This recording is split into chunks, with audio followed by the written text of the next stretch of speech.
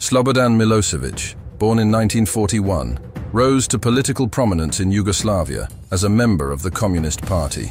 Serving as Serbia's president from 1989 to 2000, he played a pivotal role in the disintegration of Yugoslavia, associated with the outbreak of the Yugoslav Wars. Accusations of ethnic cleansing in Bosnia and Herzegovina and Kosovo led to his indictment by the International Criminal Tribunal.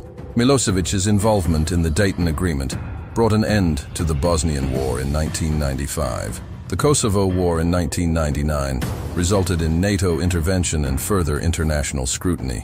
Ousted from power in 2000, he was extradited to The Hague for trial.